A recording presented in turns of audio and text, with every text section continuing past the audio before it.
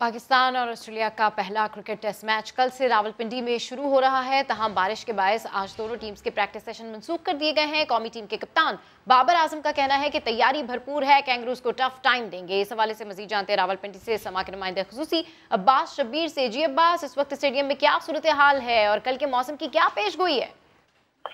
देखिए, रात गए से रावलपिंडी। इस्लामाबाद में वक्फे वक्फे बारिश का सिलसिला जारी है और जो रावलपिंडी स्टेडियम की विकेट है उसको मुकम्मल तौर पर ढांपा गया है कवर किया गया है क्योंकि कल प्रडिक्शन नहीं है बारिश की लेकिन मंडे ट्यूजडे फिर से प्रेडिक्ट किया जा रहा है कि रावलपिंडी के अंदर बारिश होगी।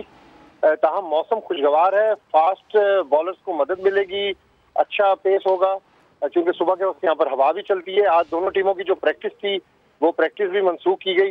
जिम करेंगी दोनों टीमें। बाबर आज़म ने सुबह ऑनलाइन वर्चुअल प्रेस कॉन्फ्रेंस में जी। इस अजम का इजहार किया है कि ऑस्ट्रेलिया ठीक है बस आपने अपडेट किया आपका शुक्रिया।